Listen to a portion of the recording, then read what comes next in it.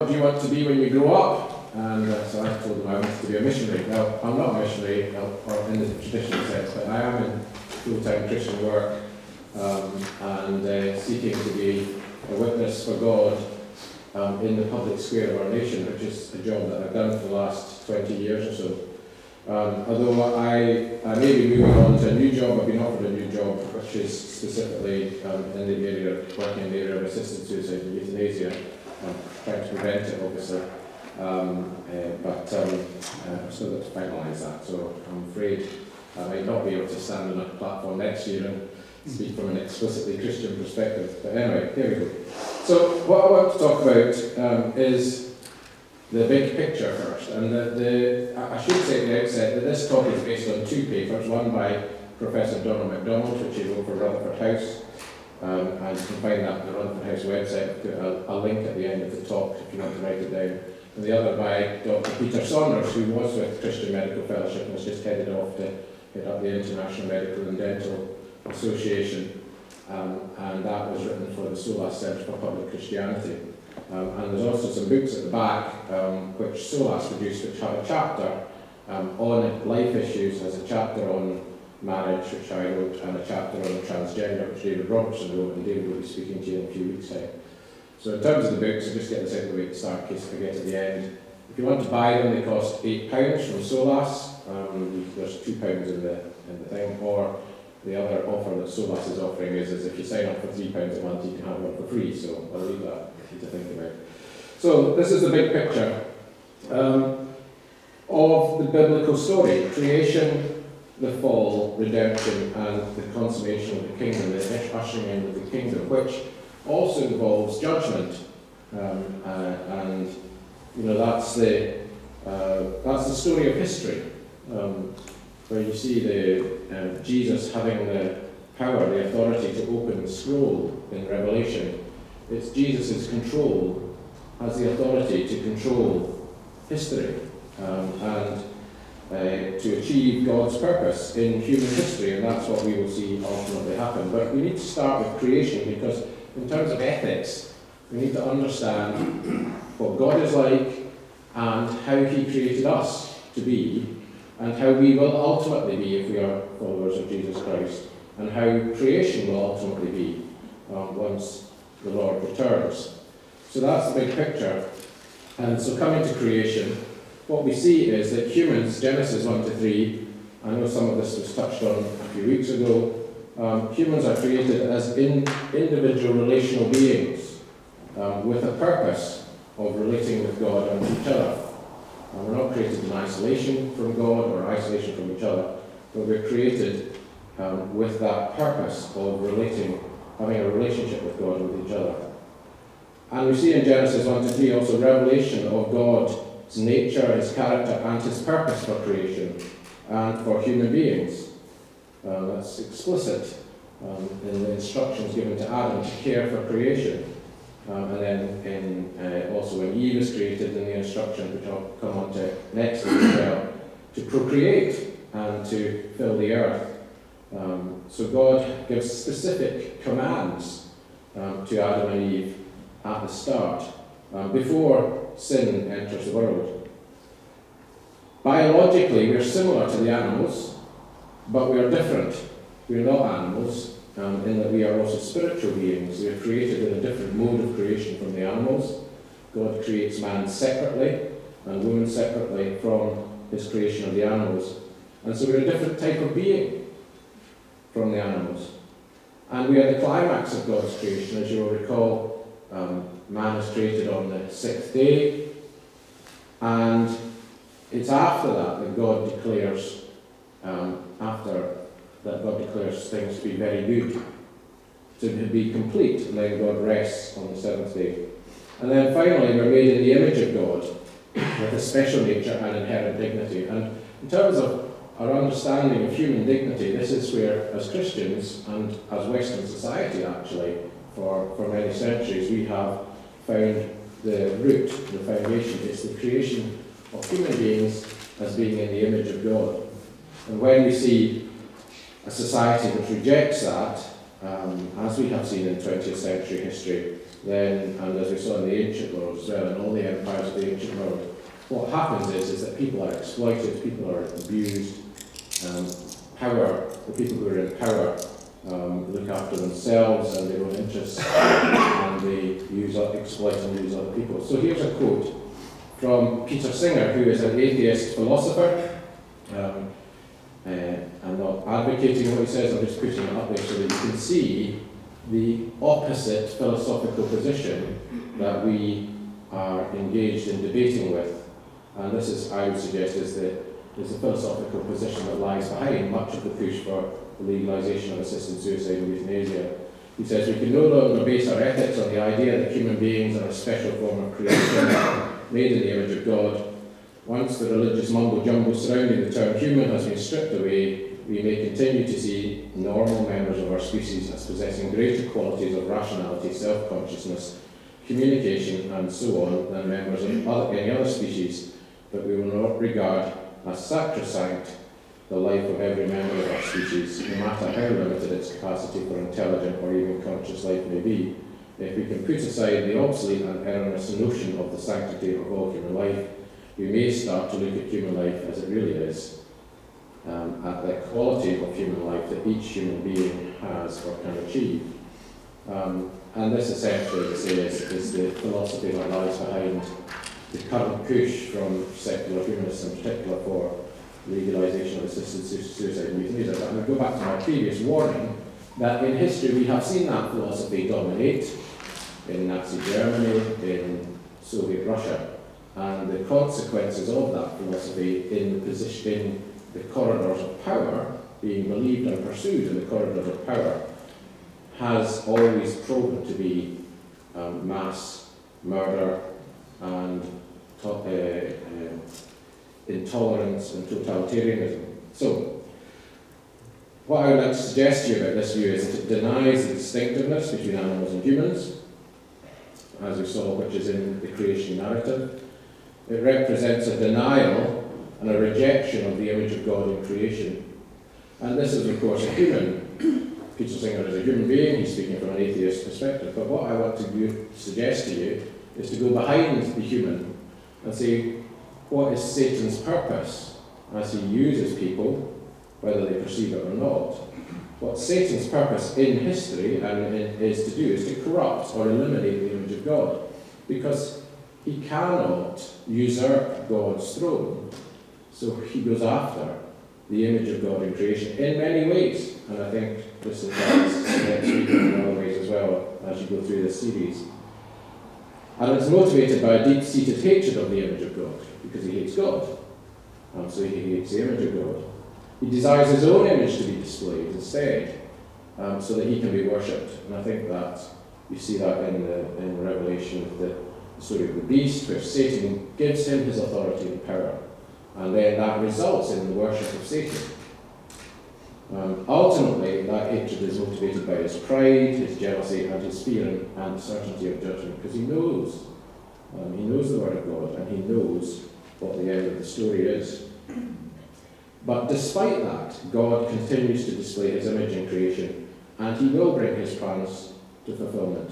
That's an absolute certainty. Um, you know, in Isaiah talks about the zeal of the Lord will fulfill this. You know, it's not our efforts that will fulfill the coming in of the kingdom, although obviously our work, we work towards that and we have a responsibility and a role to play, but it's God's purpose that will achieve the, the coming in of the kingdom and God's work. So the image of God then, um, traditionally, there are various ways in which we can understand this. It probably encapsulates all of these aspects actually. Um, spirituality, righteousness, goodness, rationality, creativity. But what I really want to focus on is the relational aspect of God's nature, both this week and next week. Because God is triune. There is a relationship between the Father and the Son and the Spirit. And God created humanity and the universe in order to have a relationship with the creatures that He created, that He creates. Um, and we can lose sight of that, I think, if we, uh, and, and easily fall into heresy of, of um, thinking that God is some way detached from His creation. He's not detached from His creation. You see that in first chapters of Genesis, but we see it most clearly in the incarnation of Jesus um, and in the promise of his return.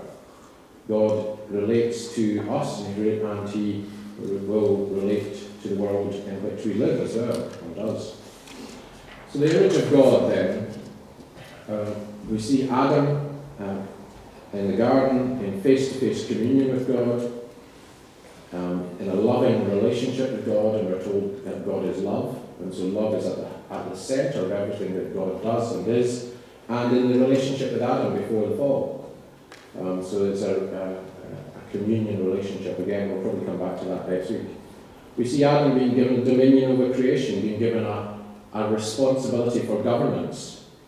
Um, he's God's representative with stewardship responsibility, and this, I think, is again where we come back to the responsibility of government, which we then see developed later on in Scripture as well, that human beings and human societies have a responsibility to, to govern on behalf of God. Um, delegated authority from God to govern. And then we see the unique dignity of Adam and Eve, of, the, of human beings, in comparison to the animal kingdom. But we also have dependence upon God. Adam is not um, autonomous, fully autonomous, although he has a degree of autonomy or freedom, but he's not completely independent of God. He's dependent upon God to provide the means of sustenance, uh, to start off with the life. Life in itself is breathed from God. It's not the, the, the body is created, but there's no life in it. But like Ezekiel, the, the picture in Ezekiel 37 of the dry bones that come together, there's no life in them until the Spirit of God breathes into them. So God gives life. Um, is both body, physical body, and spirit, um, reflecting our Creator, who is spirit.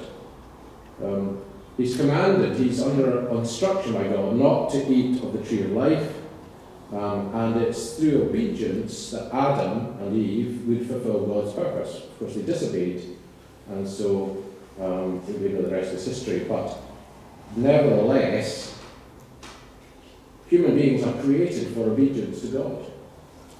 Uh, this is something we all struggle with, isn't it? it's not goes without saying, but, but that is what we're created for. And the great thing about ultimately the consummation at the end of, of history is, is that we will obey God and we will not disobey those of us who are in the presence of God. Um, and it will be all through the power of God that enables that to happen. But in the meantime, as believers in Jesus Christ, we're called to strive towards obedience. But Adam is created um, uh, to obey God. And then he is called also to display the image of God in creation, to creation, not just to the animals, but also, I would suggest, to uh, the spiritual powers as well. Um, Adam, or human beings, are called to display that image. And finally, he's accountable. He's held accountable, as is Eve, as is the serpent ultimately as well, for when they sin, when they disobey God. There's an accountability there. And these principles all still apply. They apply throughout the history of the human race. Um, and they apply to us today, and they apply to our government today, um, and our politicians, and they apply to us as individuals as well, and to our churches as well. Um, there are principles that are quite often set aside because they're inconvenient for us. And uh, I'm sure as we go through this series, some of the ways in which they are being set aside will um, be discussed and thought about. So next, in terms of creation, we are created body and soul, biological and spiritual, in the image of God, this is a summary, with inherent dignity, with a purpose to obey and represent God, to commune with Him and other people. Human life is precious to God. It's not, we're not wholly autonomous, creating our own identity, um, but we get our sense of identity from our relationship with God um, and are able to operate. We're not able to operate in isolation from God and from others, but we do have freedom and agency to make decisions that are then accountable for them. So that's the creation big picture. Then we come on to the fall. Actually, before I get on to that, I just want to read a few verses if that's all right. Um, I'm sure it is all right. Don't I'm um, I'm just conscious that I've got a lot of slides, so I don't want to get too distracted by all sorts of um, uh, uh,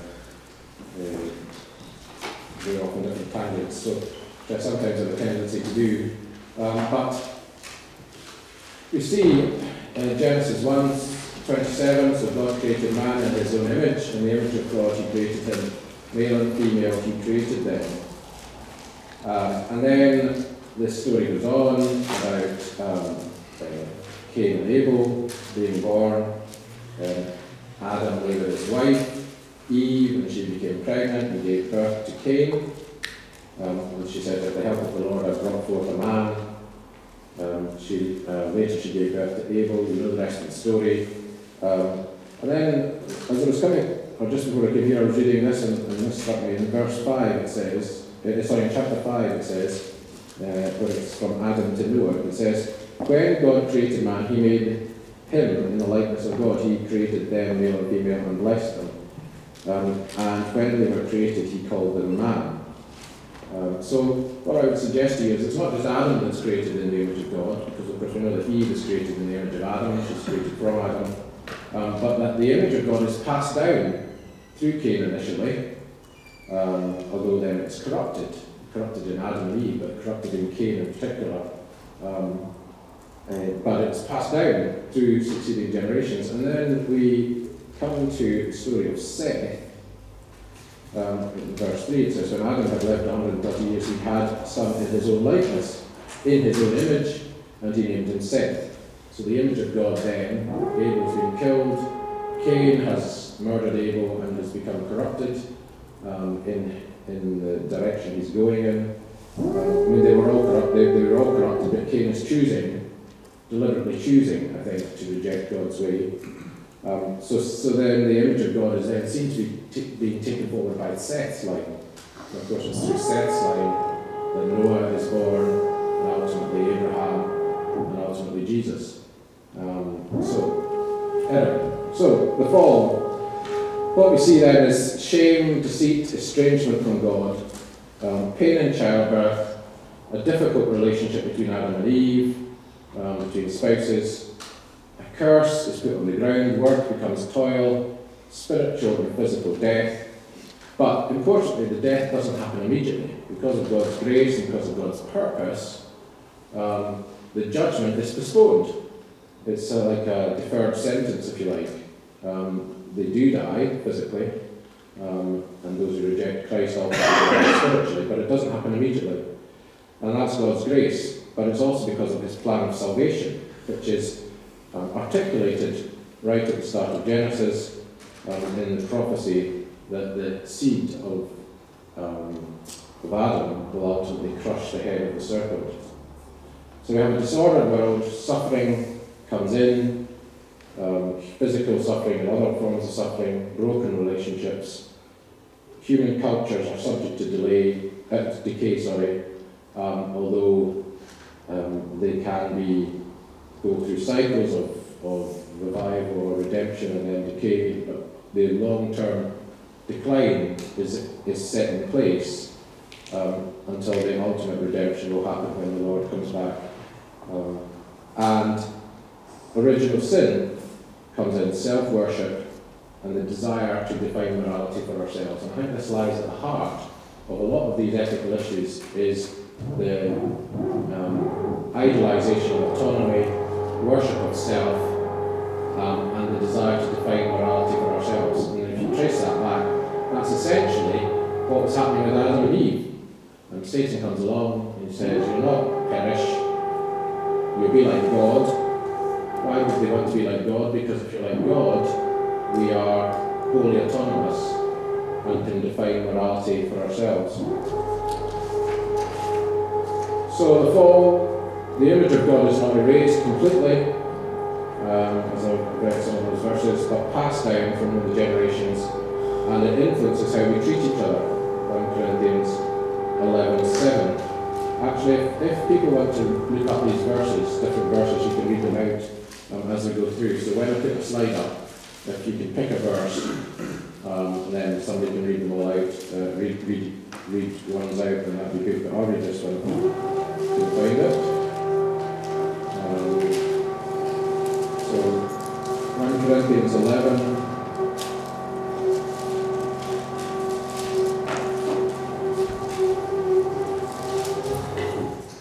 A man ought not to covet sex he is the image the glory of God, but the woman is the glory of man. So you see the image continues to apply, Paul says, waiting to the image has been passed down. Human life remains sacrosanct.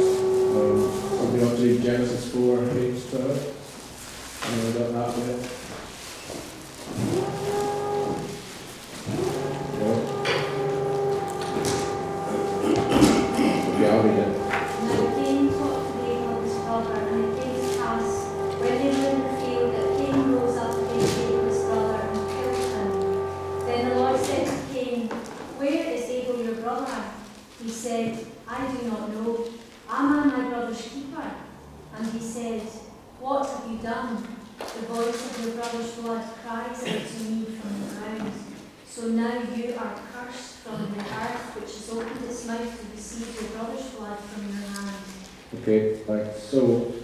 God is holding Cain accountable for his brother, for his brother's blood. So, like human life is sacrosanct to God in Genesis 9 6. You see this as well after the flood, where God says to Noah that if um, someone takes a human life, uh, that they themselves should lose a life. Um, Genesis 6 9. Um, 9 6. 9 6, Stephen, yes, sorry, 9 6. Um, whoever sheds the blood of a man, by man shall his blood be shed. For the image of God has, for in the image of God, God has made man. So again, it's because of the image of God. So God holds us accountable and human life is sacrosanct because we are in his image. So God alone has authority to take human life or to delegate that authority in specific judicial or juridical circumstances. Um, and we see that in that last verse, that God delegates that authority to governments but, um, and to those in political power in specific circumstances. Not in every circumstance, but in specific circumstances. Um, and human beings retain a high place in creation. Psalm 8 is an example um, where um, psalmist says, God, God says, you, you know, you made him a little lower, you made us a little more than the angels. So we still have a high place in creation. So the incarnation, we're coming on to redemption, the incarnation and the life and the death and the resurrection of Jesus, they are testimony to the high value God places in human life. Because God himself, um, through Christ, through the Son, became a human being and retains um, that nature in heaven he ascended as a resurrected man. Jesus is the perfect image of God. Somebody want to read 2 Corinthians 4 4? And I'll read Colossians 1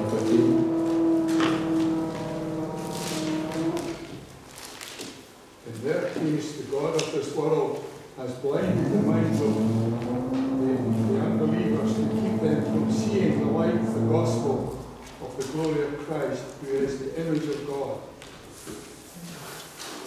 And then in Colossians, which you can't find at the moment. I put little bits of paper in all, and I've got so many little bits of paper that I can't find them. And in Colossians 1.15, again, another very well-known verse, he is the image of the invisible God, the firstborn over all creation. So Jesus is the perfect and human image of God, um, because he is without sin, and because of his divine nature, the other way around, because of his divine nature, and because he's without sin, and without sin. Um, and he sets us an example, or sets an example for his disciples of selfless caring and healing, which the Christian church has sought to emulate ever since. Right from the early days of the Christian church, one of the reasons why it was so effective in terms of witnessing to the Roman Empire was because they cared for the poor, for the abandoned children, um, and because of that example that was set, which is an example of Christ, and ultimately empowered by the Holy Spirit to be able to fulfill that. So consummation finally. Um, now, Jesus will come back again. Uh, there's no question about that. And Scripture is very clear. Our society may have forgotten that. Um, the church may have forgotten that in many cases, but it will happen. He said to them, It's not for you to know the time or the dates the Father has set by his own authority, but you will receive power when the Holy Spirit comes upon you, and you will be my witnesses in Judea. So they asked him, Is the kingdom going to happen now? And he says, You don't need to know that. The Father has set these dates by his authority, and as I quoted from Isaiah earlier, it will happen. Um, we'll see a res- resurrection from the dead. Somebody have 1 Thessalonians 4, 16, 17? A physical, bodily resurrection to people. For the Lord himself will descend from of command, with the voice of an archangel and with the sound of a trumpet of God. And the dead in Christ will rise first. Then we who are alive, who are left, will be caught up together with them in the clouds to meet the Lord in the air, and so we will always be with the Lord. Okay, so there will be a resurrection.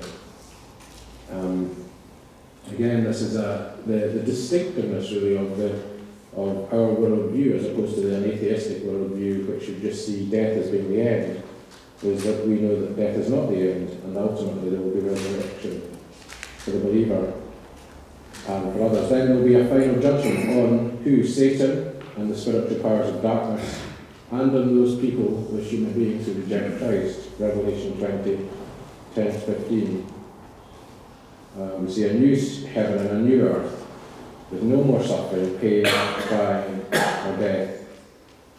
Someone of Revelation 1, uh, 21, 1 and 4. Yeah. The devil who had deceived them was thrown into the lake of fire and sulphur where the beast and the false prophet were, and they will be tormented day and night forever and ever. Then I saw a great white throne, and him who was seated on it. From his presence, earth and sky fled away, and no place was found for them.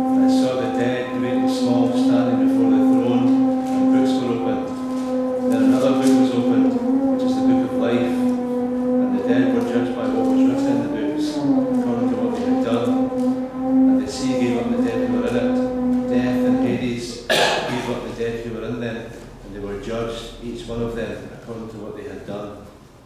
Then death and Hades were thrown into the lake of fire. This is the second death, the lake of fire. And if anyone's name was not found written in the book of life, he was thrown into the lake of fire.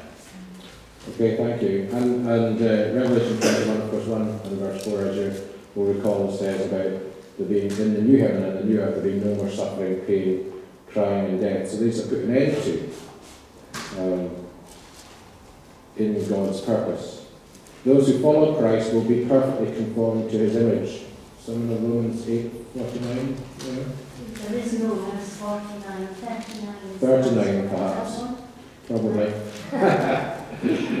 Right. Um, neither height nor depth nor any other creature shall be able to separate us from the love of God which is in Christ Jesus our Lord.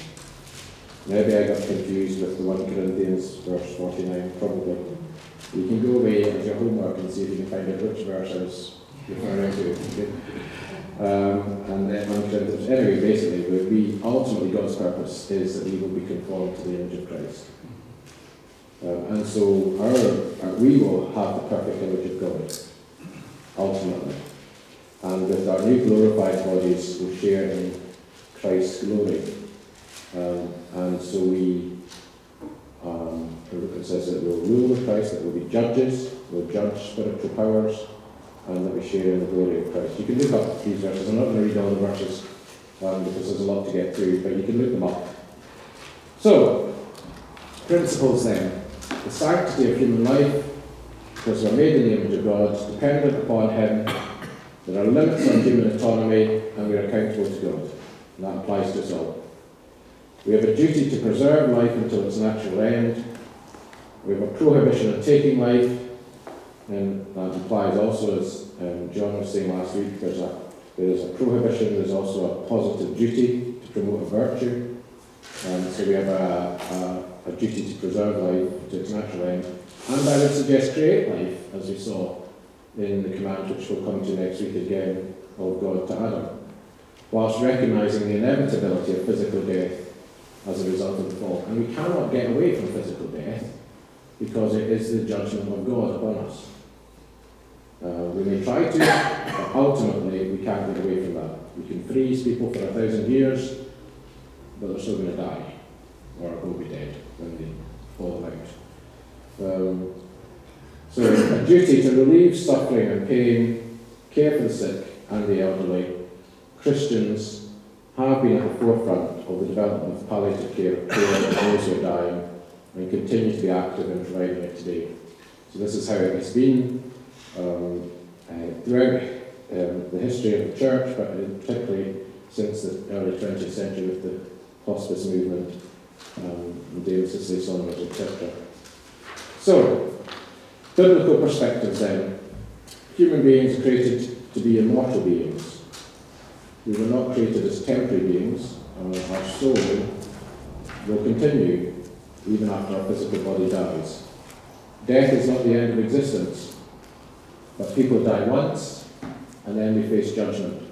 And judgment, like um, uh, any sort of form of justice, can be have a positive and a negative consequence.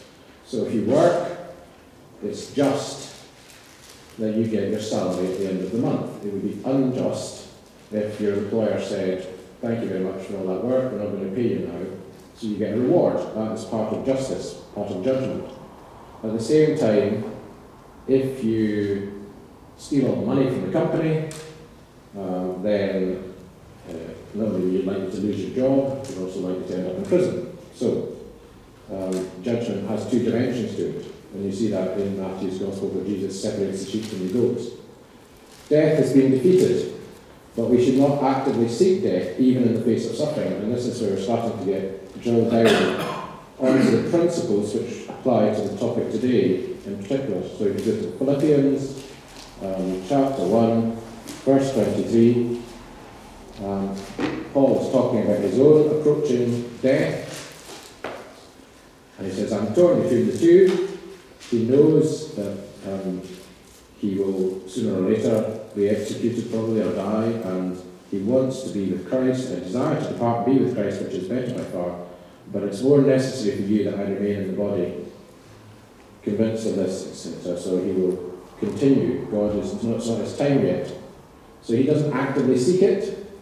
He doesn't say it would be far better to go off and be with Jesus, so actually I've had enough of this, I've been persecuted, I've been stoned a few times, I've been thrown into prison, I've had shipwrecks, I'm fed up, I'm tired of life, I'm just going to go and end it all. He doesn't say that.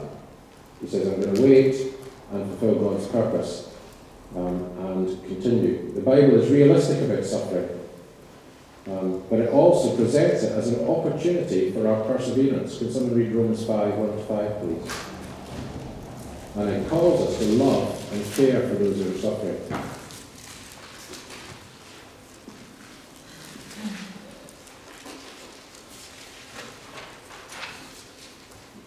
Therefore, since we have been justified by faith, we have peace with God through our Lord Jesus Christ. Through him we also have obtained access by faith into this grace on which we stand and we rejoice in hope of the glory of God. More than that, we rejoice in our sufferings, knowing that suffering produces endurance, endurance produces character, and character produces hope. And hope does not put us to shame, because God's love has been poured into our hearts through the Holy Spirit who has been given to us. So, as a slight aside here, I think that this is very relevant to the church today in Britain because although we haven't really suffered much persecution, we are finding a more hostile environment. And there is perhaps a tendency to fight against that um, and to see that as a disaster. But Paul's approach to suffering, and he suffered more than most Christians will ever do um, for his faith, is to rejoice in the face of suffering. That's a really difficult thing to do. It can only be done with the help of the Holy Spirit ultimately. But I think that's a challenge for us. Um, challenge as we approach the end of life, but a challenge in terms of other sufferings that we may come across in our lives as well. So move on to biblical, more biblical perspectives. Murder, including suicide, is forbidden. Uh, Exodus and the Sixth Commandment forbids all intentional killing of the innocent and then Jesus expands that to include even the thoughts and attitudes and words which lead to violence and killing. So even the hatred of the, in the heart is prohibited. by Jesus, or it's prohibited by God in the Old Testament, of course, but Jesus um, develops a teaching for the benefit of his disciples. Even killing from negligence was not excused as unintentional. There's a story of um, a, law where Moses uh, uh, gives to the people where somebody has an axe and flies off and it kills someone, so um, uh, then they're held accountable. Nor was killing as hostility um, permitted even if it wasn't premeditated. So if you get in a fight with somebody and they, they, they you punch them and they fall over, by the head and die, then you still get charged with murder today, even though it wasn't the intent to kill them. So killing was only permitted in three circumstances in the Old Testament. In a just war, which where God explicitly gave instructions, for capital offences, um, and self-defence. The killing of the innocent is never sanctioned in Scripture.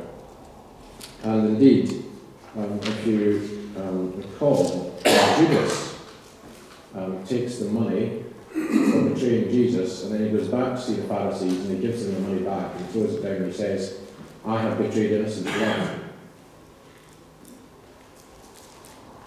So, my, let's see what, on here.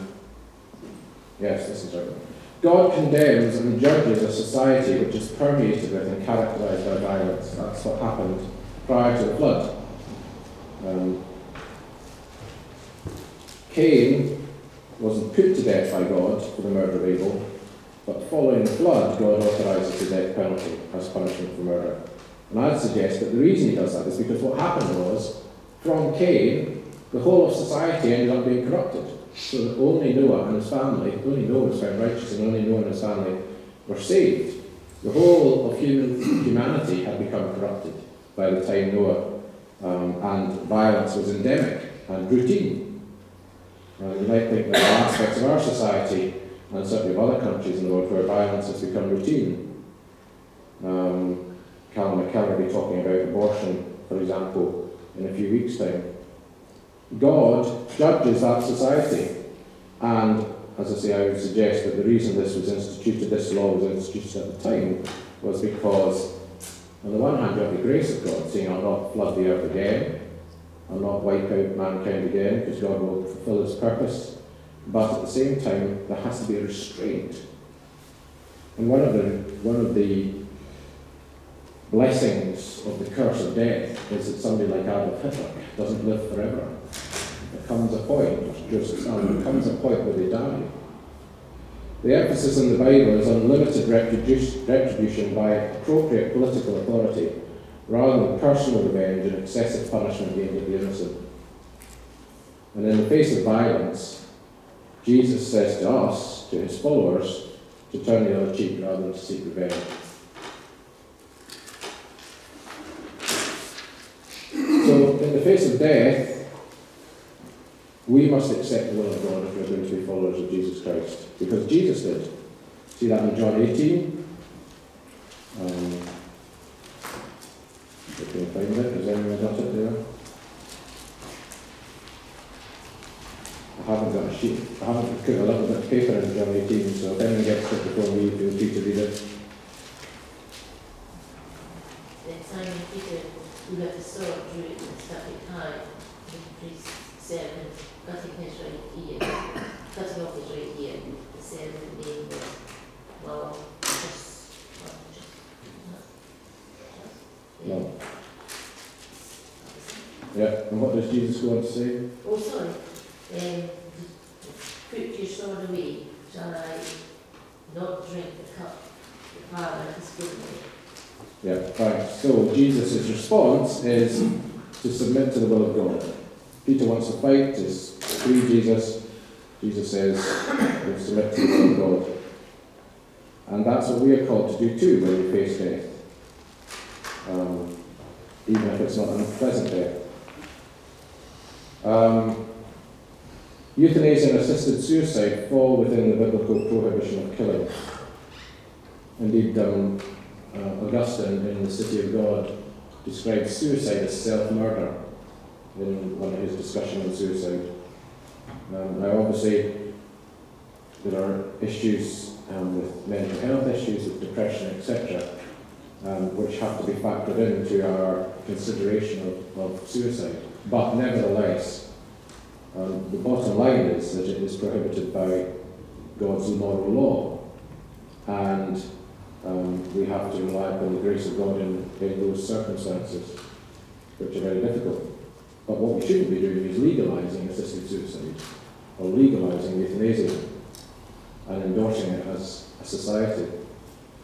There is no provision in the Bible for compassionate killing or to avoid indignity, even at a person's own request.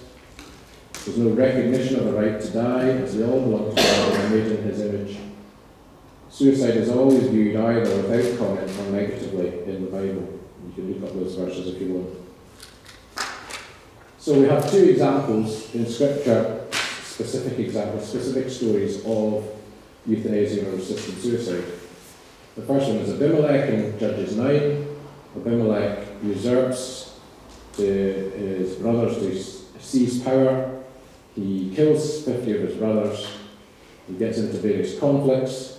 Eventually, some uh, attacks a city and a woman drops a stone on his head, cracks his skull open, and in order to avoid the indignity of being killed by a woman, he um, asks, he kills himself, he asks to be killed. It's presented as just retribution because of his own murder of his 70 brothers earlier in the story. King Saul is another example. Both of these people are political rulers who are in rebellion against God. King Saul commits suicide ultimately, although the story goes on to explain that Amalekite claims to David that he had killed Saul at Saul's request. um, so what you see there is a suicide, but an Amalekite claims to have assisted in the process, of euthanizing, you might say. And this is treated as a capital offence by King David. So even though he didn't actually kill Saul, he's still put to death by King David because he claims that that's, and that's, the, that's what the evidence is pointing to, obviously. But these accounts are both descriptive rather than prescriptive. They don't in any sense endorse this behaviour. What they do is they describe what happened. But also, interestingly enough, they demonstrate the two main arguments for euthanasia and assisted suicide, which are to preserve dignity or autonomy and compassion and pain relief. So, coming on to the subject of euthanasia and assisted suicide then, it's important to understand what they are. Euthanasia is where uh, a third party, normally a doctor, actively and intentionally kills a patient, um, probably with the purpose of relieving suffering, and often, though not always at their own request. It's not withholding or withdrawing medical treatment if that treatment is useless, burdensome, or extraordinary, and it's not the proper use of large doses of pain-killing drugs and sedation to relieve suffering. The issue here, the key issue here, is the intent. Is the intent to kill the person, or is the intent to relieve suffering by giving morphine or whatever, which then might have an unintended consequence occasioning death? Euthanasia by omission is the withdrawal of basic medical care with the intention of causing death of the person who would otherwise not be dying. It's not the withdrawal of basic medical care where somebody is already dying, which happens all the time in hospital, happened in the case of my father, for example. It's the intent, it's the intention to cause the death of someone who's not dying. This is different than accepting the limits of life of, or withdrawing hydration and nutrition from a person who's dying and nearing death. Definitions further. Voluntary euthanasia is you terminate the life of someone at their own request. Involuntary euthanasia is where you terminate the life of someone who's made no such request, and interestingly enough, in the Netherlands, there are hundreds of examples. Uh, every five years or so, the Dutch government produces a report, and they, they document many cases where there has been no explicit request to euthanasia being instituted. And then non-voluntary euthanasia is where someone's incapable or not competent to make a request. For example, maybe with suffering from dementia. Assisted suicide, on the other hand, is where you give assistance to someone and then they take their own life. Uh, uh, most notably by writing a prescription. A doctor writing a prescription for uh, a dose of barbiturates, which the person then ingests themselves. as happens in Switzerland, or to aid and, aid and encourage suicide. So in terms of the debate, the issues are fear of suffering. That was the initial basis upon which the debate happened. And Peter Saunders says, in cultures that believe in an afterlife, the fear of what might happen after death is understandably very real. But in cultures like our own, increasingly dominated by atheism, the fear of the dying process has become the main focus.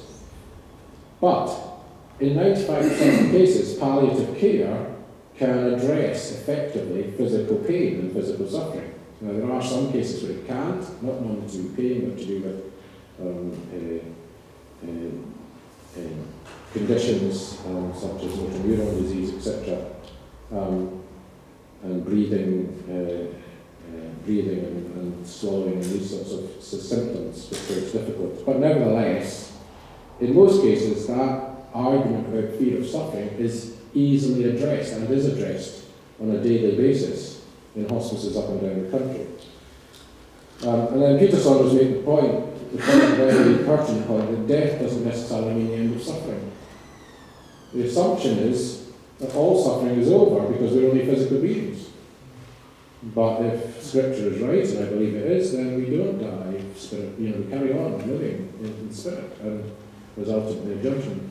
if you look at the state, U.S. state of Oregon, um, in 2015 there are 218 lethal prescriptions, 132 deaths.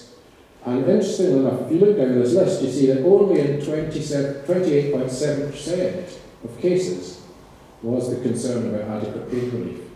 so the vast majority of cases, the motivation for assisted suicide was not pain relief, but loss of autonomy, loss of dignity, being a burden to family and friends, loss of bodily functions, etc. Or just not being able to engage in enjoyable activities.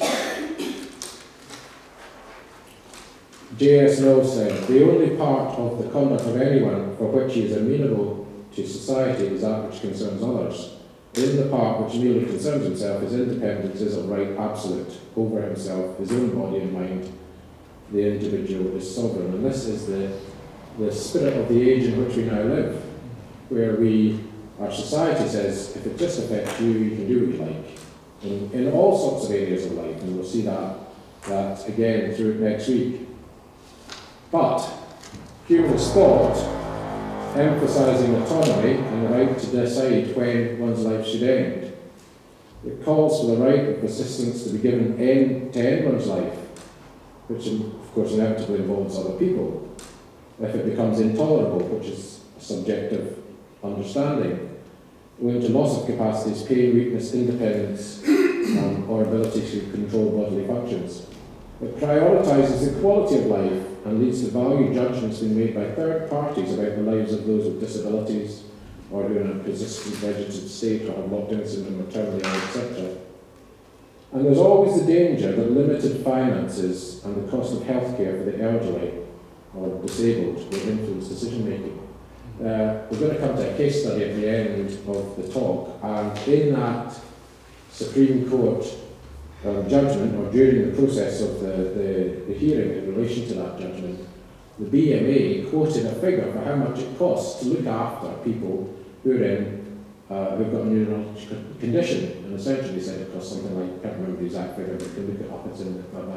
They say, they say um, something like it costs £30,000 to go to court, and it costs £90,000 to look after them for nine months to get to go to court. So that, that's a danger, isn't it? That people are influenced by other factors.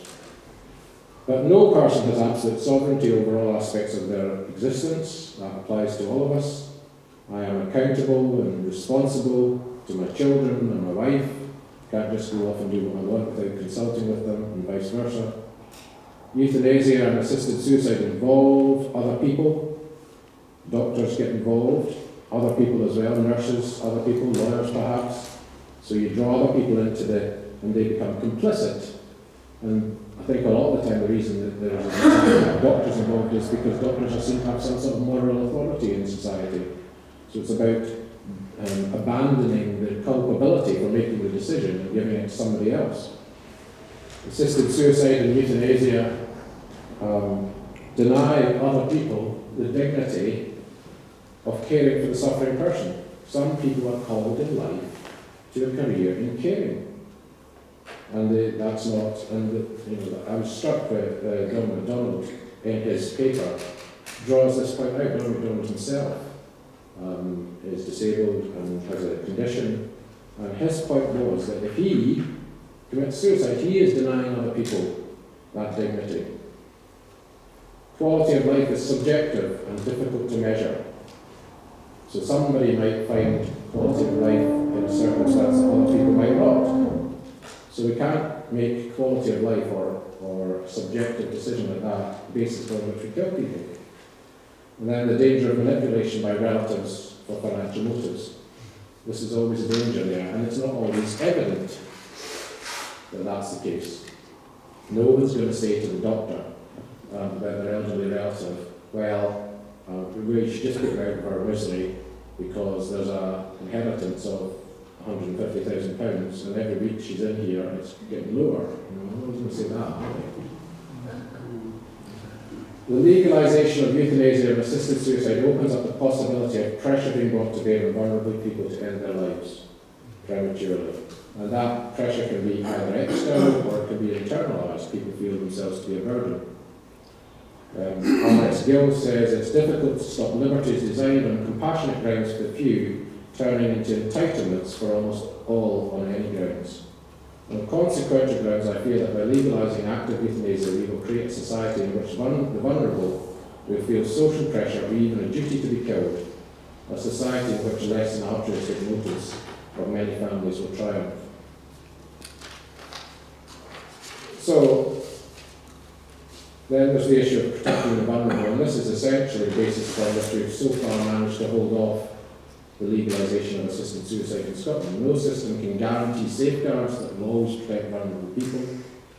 There could be pressure applied from either external or internal sources. Many people with terminal illness also experience a depressive mood and they don't receive adequate psychiatric or psychological care. Elder abuse is an issue. Involuntary euthanasia um, and continuous deep sedation. In the Netherlands, more people are killed as a result of continuous deep sedation than they are as a result of euthanasia. Um, and euthanasia can be seen as a cheaper alternative to providing palliative care or other treatments. There was a case in the US, in Oregon, where a lady called Barbara Wagner was offered um, by her medical insurance company that they would pay for her assisted suicide, but they wouldn't pay for a cancer treatment.